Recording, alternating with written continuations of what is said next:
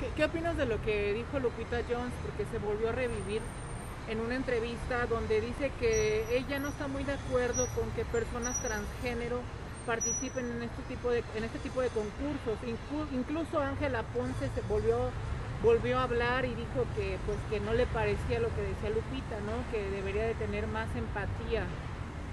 Ay, pues es que la vez pasada que me preguntaban tanto, tanto de Lupita, pues ya como di, di mi opinión y no me gustaría como seguir hablando de que si Lupita, que si los certámenes, o sea, sí, pero ya no del tema de Lupita, ¿no? Porque la vez pasada creo que aquí, aquí les contesté, y pues ya son temas, si ella lo opinó, eh, pues a respetar, pues no, no me voy a meter, ¿no?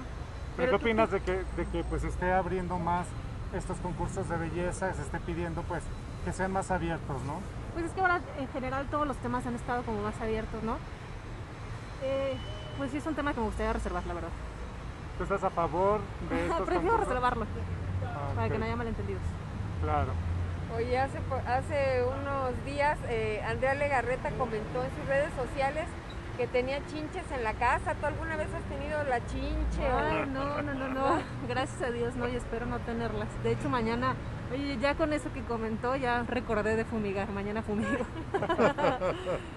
Oye, ¿y en el amor qué tal? ¿Cómo te va? 14 de febrero, mes- el mes del amor y Ay, y la mira, amistad febrero. Estoy, gracias a Dios, muy bien con mi pareja, más enamorada que nunca, vamos muy bien. eh, la pandemia nos ha unido más. Pues recientemente los dos tuvimos. ¿Te gustaron estos videos?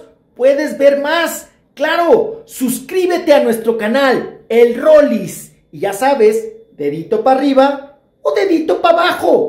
De todo, de todo se vale. Bye bye.